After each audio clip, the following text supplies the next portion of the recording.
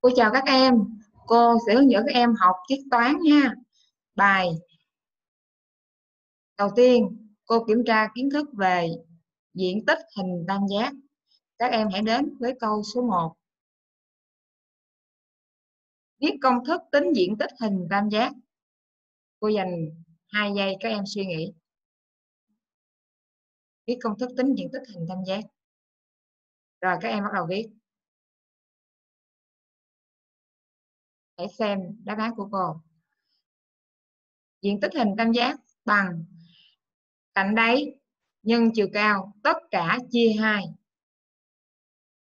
Các em có nhớ chưa? Câu số 2. Cô có yêu cầu như sau. Nêu quy tắc tính độ dài đáy của hình tam giác khi biết diện tích và chiều cao của hình tam giác đó. Hãy áp dụng để tính cạnh đáy hình tam giác biết diện tích là 5 phần 8 mét vuông và chiều cao là 1 phần 2 mét.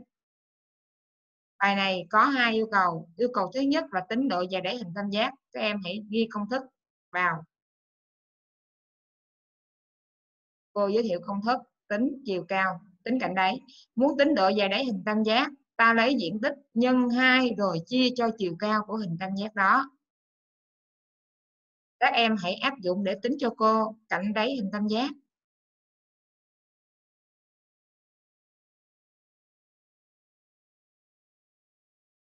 Cô mời các em tham khảo. Cách tính nha.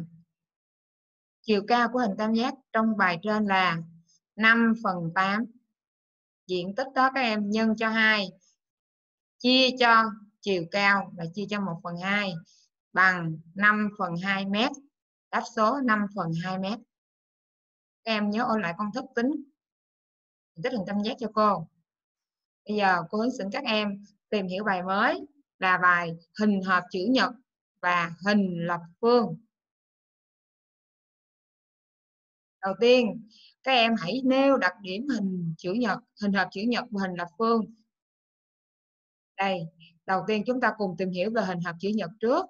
Cô giới thiệu với các em một số đồ vật có dạng hình hợp chữ nhật trong cuộc sống của chúng ta như bao diêm, thùng mì tôm hoặc là viên gạch, vân vân. Đây là những vật có dạng hình hộp chữ nhật. Đây, cô giới thiệu với các em, đây là mô hình hình hộp chữ nhật. Các em hãy cho cô biết nè, hình hộp chữ nhật gồm có mấy mặt? Các mặt đều là hình gì? Và chỉ tên các mặt của hình hộp chữ nhật đó. Cô giới thiệu với các em, Hình hộp chữ nhật có 6 mặt. Các mặt đều là hình chữ nhật.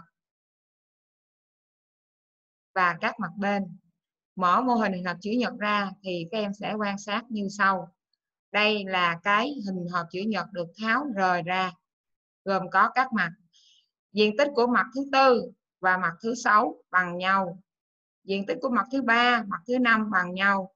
Diện tích của mặt thứ nhất, mặt thứ hai bằng nhau. Như vậy, mặt 1 và mặt 2 là hai mặt đáy của hình hộp chữ nhật.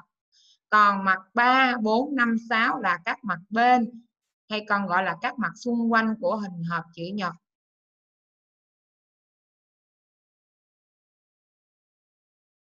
Cô giới thiệu với các em đây là hình hộp chữ nhật có tên gọi A, B, C, D, M, N, B, Q gồm có các kích thước.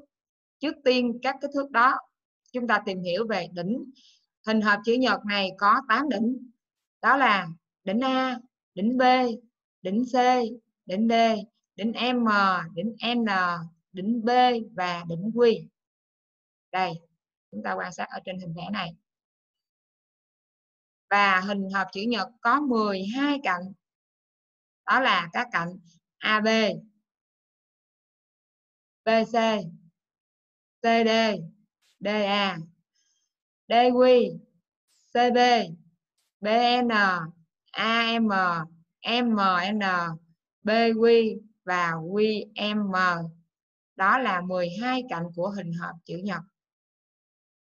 Và hình hộp chữ nhật sẽ có 3 kích thước là chiều dài, chiều rộng và chiều cao. Đây, chiều dài, chiều rộng và chiều cao của hình hộp chữ nhật. vậy hình hộp chữ nhật có 6 mặt đều là hình chữ nhật. Các mặt đối diện bằng nhau. Có ba kích thước là chiều dài, chiều rộng và chiều cao. Có 8 đỉnh và có 12 cạnh.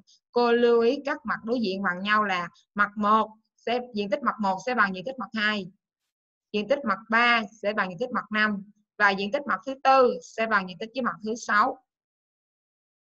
Đây, diện tích mặt 1 mặt 2 là hai mặt đáy có diện tích bằng nhau. Diện tích mặt 3 và mặt 5 là hai mặt bên bên hông á, là thể hiện của chiều rộng hình hộp chữ nhật đó là bằng nhau.